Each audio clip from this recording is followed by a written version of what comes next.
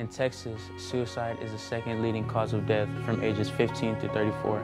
And did you know in Texas, suicide is the third leading cause of death from ages 10 to 14? And more than twice as many people in Texas die by suicide than by homicide. Join us September the 9th at the Del Mar Center for Economic Development as we officially kick off Suicide Prevention Month.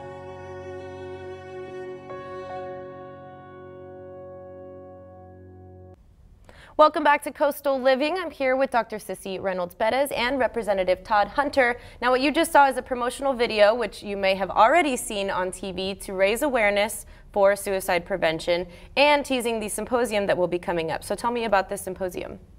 Well, this is our third symposium. The mm -hmm. first one we had was when we first started uh, the task force and started talking about some things that we wanted to get done and started informing everybody about what was uh, about suicide. Mm -hmm. The second one was to let everybody know that we were working on some things to propose as bills for, or some bill proposals to, for Todd Hunter to uh, move forward. Mm -hmm. And then this one is to show, okay, what has happened from the work. We've invited, uh, I've invited every principal that I know, every high school principal that I know, and uh, to bring 10 students. So we're going to have and, and I'm still being contact for, mm -hmm. contacted about them wanting to bring some more students. Mm -hmm. So I know we're going to have a packed house of, of teenagers. Um, we're going to have close to 150 maybe teenagers there. Amazing. But we're also going to have many adults, mental health professionals, educators, veterans uh, that are going to help guide the students. Mm -hmm. This symposium is going to be more of like a workshop. Um, for the students to get into tables and create activities that they're going to take back to their schools, their campuses, and uh, initiate with their principal uh, to occur during the month of September. Wonderful. Just to kick it off some conversation starters, some things to promote awareness, mm -hmm. um, to educate the students, the, the rest of their peers about what they've been learning here at the symposium. Amazing. And Todd, tell me what is your takeaway from this experience? I know you're a big factor in making these big moves for us as a state.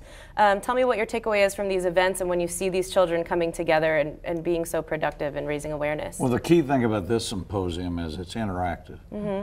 I mean, you don't need a bunch of just one group telling you what to do on suicide. Let's get everybody involved. Yes. We got parents, we got mm -hmm. veterans, we got kids.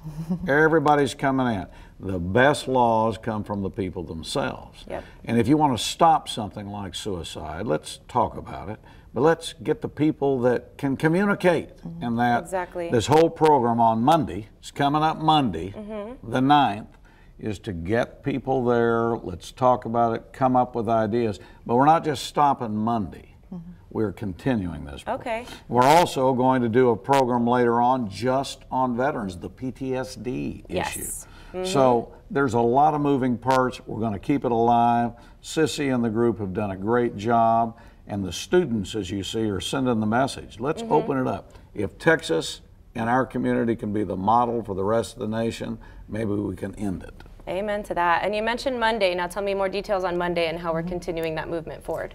From 8.30 to 12, we're going to be at the Del Mar Center for Economic Development. Okay. And um, we have so many people registered right now that we have an overflow room that's mm -hmm. going to have monitors there also Great. to make sure that it's still interactive. Mm -hmm. um, and, and, you mentioned everyone's welcome to this? Yes. Absolutely. So not it's just free. students, veterans, no. mothers, daughters. It's free. Everyone in between. It's a free event, guys, so don't be shy. You're amongst friends and family. Yes. Okay. And, and sign up if you can on Eventbrite event, so right? That, so that we can mm -hmm. make sure we're tracking everybody because yes. we want to make sure we got their names, addresses, yes. and contact. But what I love is that you're not cutting it off at your max. You're making no. space, mm -hmm. which is a little simple, tiny task yes. for you to do to be inclusive and to help those people not feel like they missed the boat right. on finding help. Right. So and you'll have start, that event. Yes, mm -hmm. and we started a Twitter page. Great. So it's at at stop underscore, underscore tx underscore suicide. Okay, so you can follow them on Twitter as mm -hmm. well. So from 8.30 to 12 mm -hmm. at the Del Mar Center for Economic Development, yes. correct? Uh -huh. And then what happens after that?